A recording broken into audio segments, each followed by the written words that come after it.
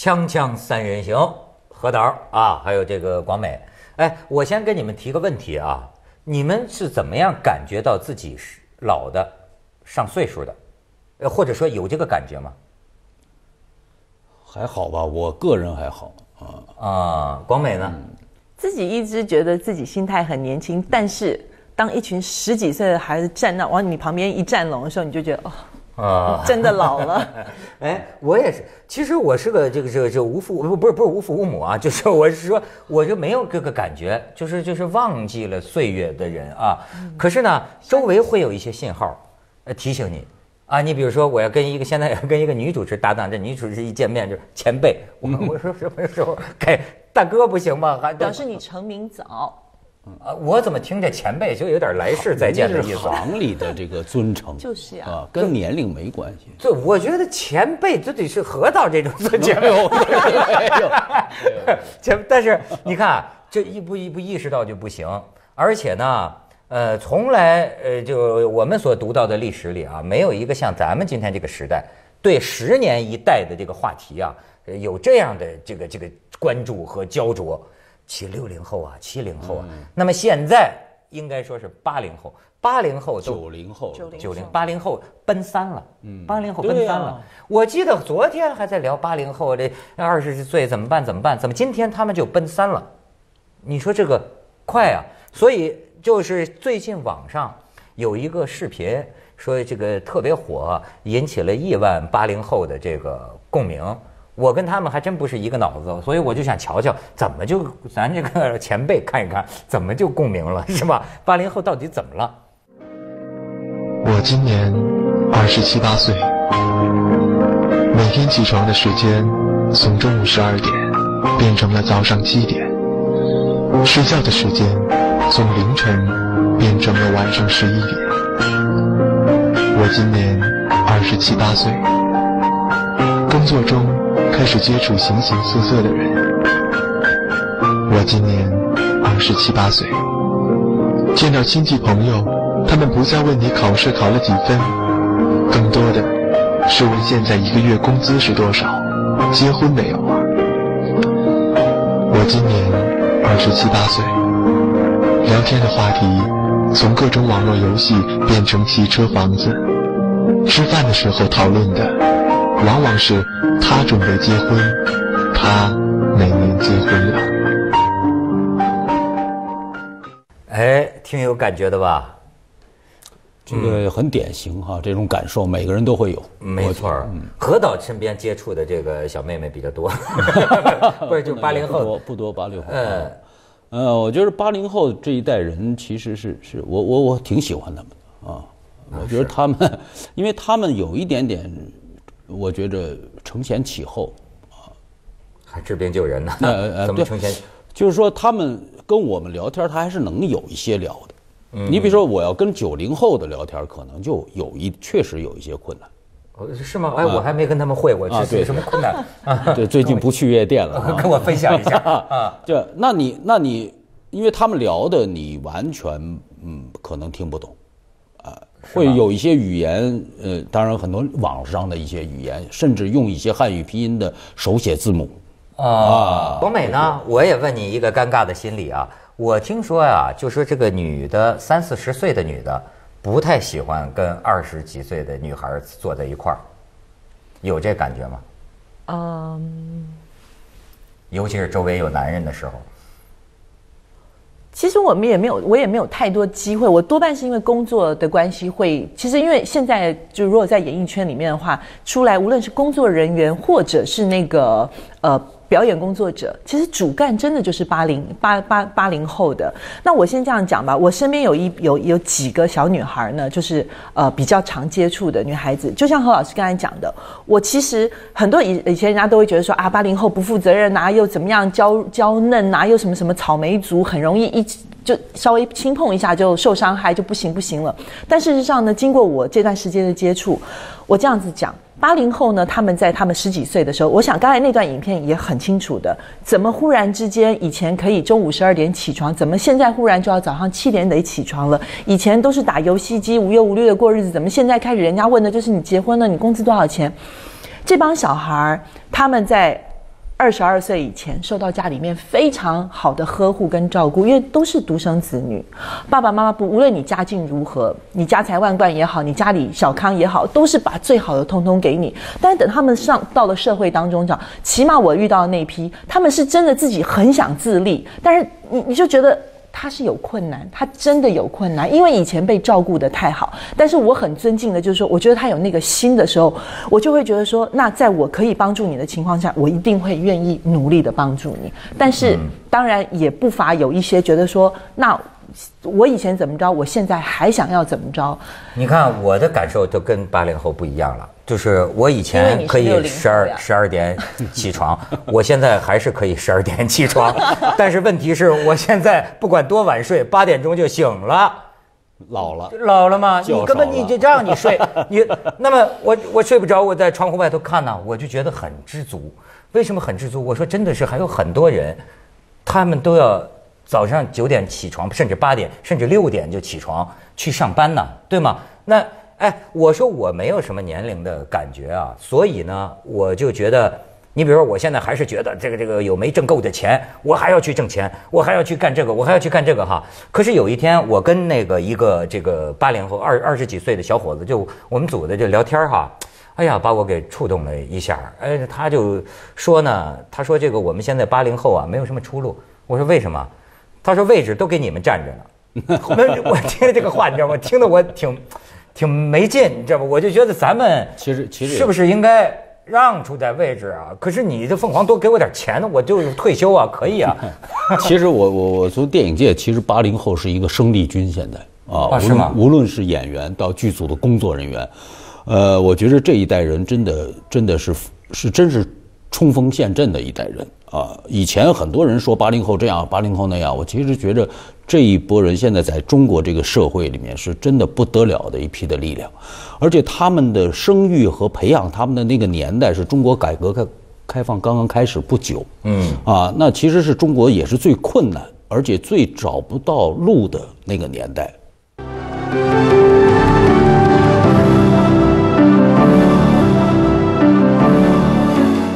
其实呢，你说这个八零后，八零后，我觉得就是一个年轻的人和一个中年的人。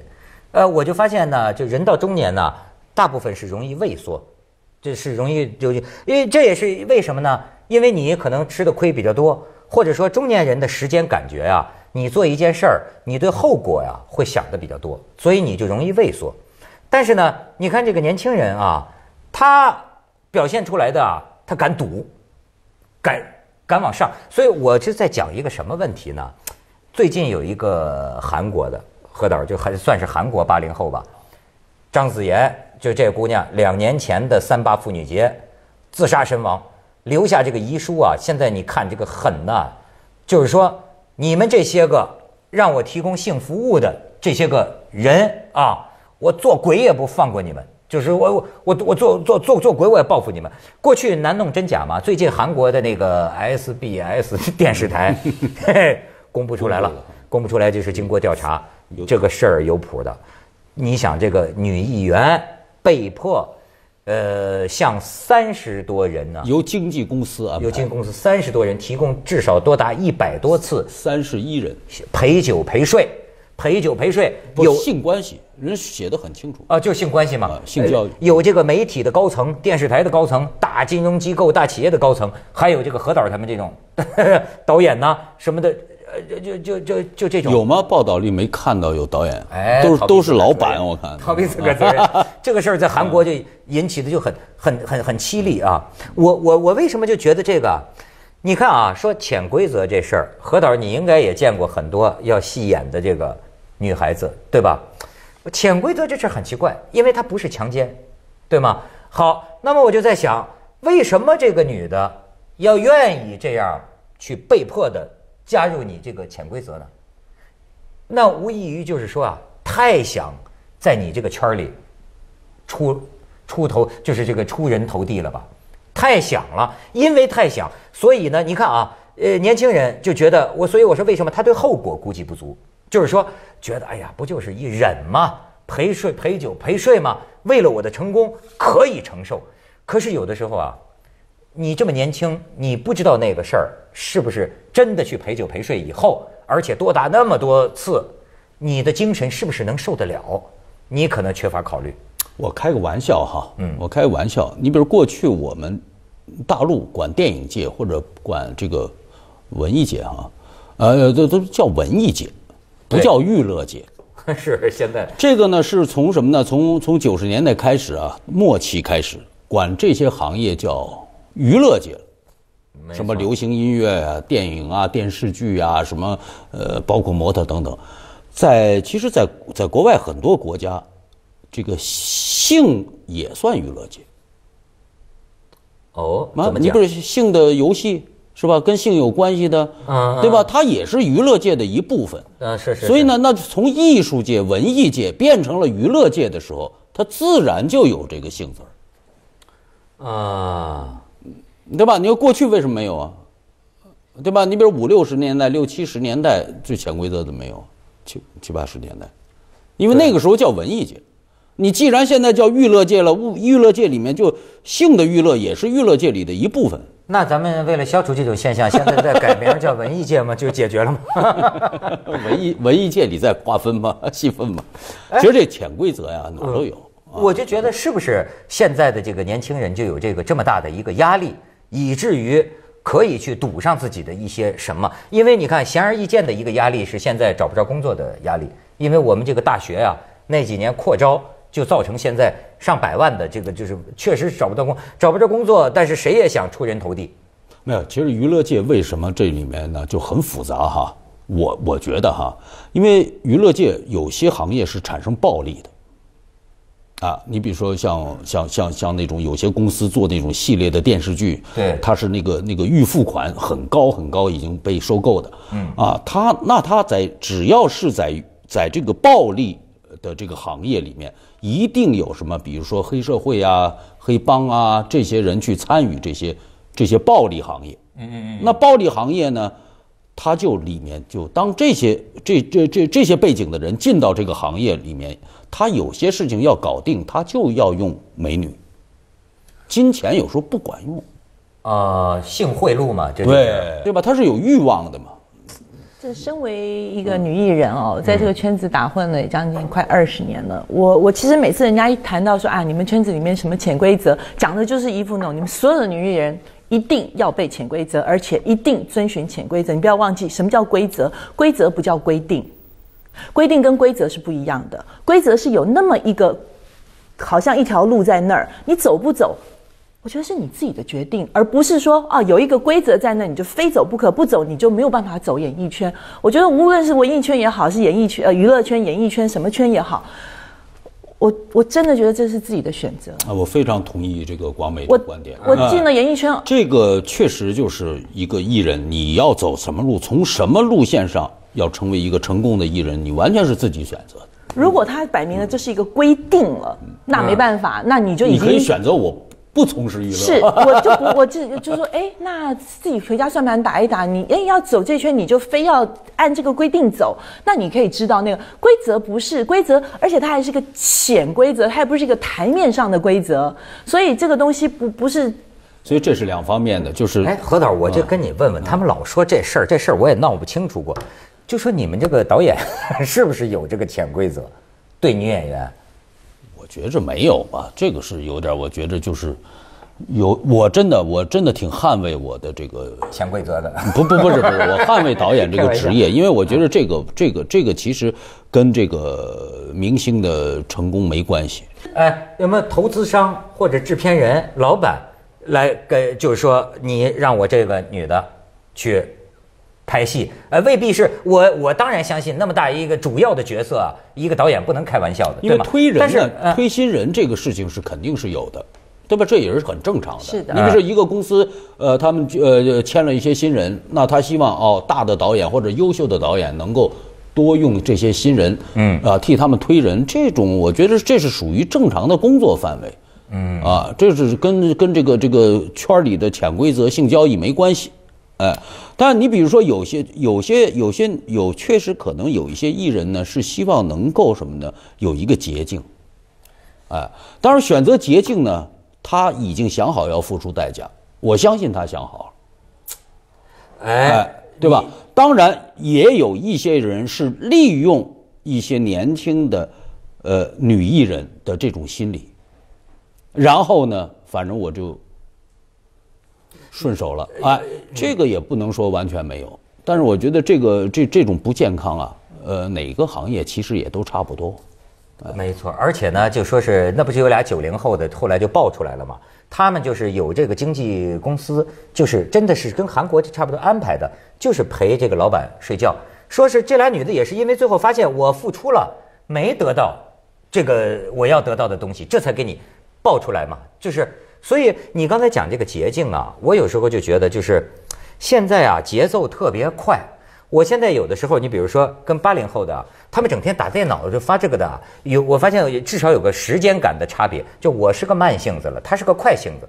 你比如我写完一个邮件，我得再看一遍。他们那个就是恨不得赶快写完最后一个字，砰按那个 send 出去，他最舒服。你看，他就希望也进进进进了一个没黄瓜菜都凉了，不能等啊，出名要趁早啊。而且而且还走什么？而且而且娱乐圈里还有一个什么东西呢？就是这个成名啊，要速度很快。没错，你比如说什么呢？我跟某一个呃呃大导演有有有被被偷拍了啊，有什么事情，然后那种八卦的新闻呐，那狗仔队那种一上，哎，这个这个这个年轻的艺人成名很快。你比如前一段有一个叫叫叫于于于于露于什么？就是那个拍征婚那个叫甘甘哦甘露露 甘露露哎 甘露何导演对不对？你说这甘露露，嗯你说你是一个什么样的？做过演员，也做过一些平面模特，你突然就就让你妈给你拍这个东西裸婚是吧？裸体啊，裸体征婚裸，体征婚。裸体征婚，你就是觉着这样这样跟跟性有关系的东西吸引眼球，你的知名度迅速被拉高。嗯，而且你知道，我在现在年轻人当中，真是看到一种英明果决啊！我觉得我就竞争不过他们。这个人就就看着机会，啪，他马上就做出正确的选择。你比如说那《让子弹飞》里边那个姜文那个里里里里头一个助理嘛，因为这个制片胸助理胸部长得比较、呃有优势吧，对吧？就是一个镜头啊，引起网友关注，啪一下不当助理，零点几秒的时间，零点几秒的时间，然后马上我要进娱乐圈了，或者演艺界了。而且你看现在这个社会啊，这种这种媒体在后边这个反应的这个快啊，你像就我刚才说这个让子弹飞的这个助理，我就看见他这个啪啪啪几下子。昨天我一看，哎，就上了那个什么了，有一个就是宣传乳腺癌的那个，不不是，就是防止乳腺癌的那个活动。呃，不是很多女明星过去都拍那个那种遮着一点，实际就是裸的嘛。啪一下，哎，捂着胸部就拍这种公益的照片了。我一看，在非常短的时间，真像何导讲的零点几秒的一个镜头，现代社会的机会真是转瞬即逝。我这辈子错失了多少机会？所以你想想，在这个大导演的这个名作品当中的零点几秒啊有多都都产生这么大的作用，但那另一何方面何何何对况对，也也得底子，也得底子，也得也得底子底子好是吧 锵锵三人行，广告之后见。材料 材料。所以广美也谈到了材料好的问题，就是不光要看机会，自身要有实力。不是不是，我我觉得这些这些人的成功呢，真的是让我们眼前一亮，但并不代表这些成功是可以被复制。Yes，对不对？台湾有一个呃那个宅男女神叫瑶瑶，这小女孩呢，她也是在无意当中，她她叫做他们称她叫童颜巨乳，就是说那眼睛就像小鹿一样的那么那么的清纯的感觉，但她身材就非常非常惹火。那像何涛你讲的是这个叫局部惊人的这种身材，所以现在所有那些女孩都想要走他的路线。对呀、我妈妈都说啊，那如果瑶瑶可以成功的话，我也应该怎么样怎么样，就可以一脱成名对呀、我也 我也很可爱啊，那我身材也很好。但是对不起，有些事情它是没有办法被复制的。所以美容院生意很火，哎、就是做这些器官的这个美容就变得 很红火，因为不能复制嘛。没错既然不能复制，我弄个假的嘛，哎啊，，对吧？这真的没有，咱假的也行。器官可以被复制，但是那个成功是不能被复制的。那当然没错，其实也谈不上成功，只是因此而成名而已那成了就不一样了啊。那是成了名儿的不同。就不一样啊嗯。哎，你说这个成功不可复制，老有些人教人家怎么怎么成功，怎么怎么成功。我也是相信你这个道理，绝对不能复制。但是呢，这成功啊不能复制。从另一方面来说呀，可就鼓励百花齐放了，就是你必须就跟他们说这个当代艺术、现现代艺术一样啊，对你这招啊，别人学就没出息了。嗯好比为什么原创呃，对，呃王 王朔讽刺那个七九八叫伪军大院呢嗯？那那意思就是说你学就没意思了。但是呢，你那就那就在鼓励，咱们可以有目视呃看呐。所以他们为什么有些作家导演就说这是个最好的时代啊？你这辈子算没白活呀，什么你都能看得着啊。因为为了出名，对，靠这个下次不能再管用了，但是就会有人又会出个新的什么东西，啪家伙就就就出名。创所以这创意是最值钱的。创意是最值钱，所以这个这个为什么要鼓励原创？就是原创的价值嘛，这就是但是原创有底线吧？所以甘露露的妈妈是最有创意的。最有最有胆量的，而且而且她没有，她完全不是矫情，她真的觉得自己的女儿非常非对对常棒。对对对，他是你根本配不上我女儿。对对对对对对对她完全就是一个啊拍板所以人家是打从心里欣赏，我是，我觉得他是真的，他不是接着下来为您播出《珍宝总动员》。这个是很有意思。人必须真嗨，知道吗？就不能不能假嗨，不能假嗨。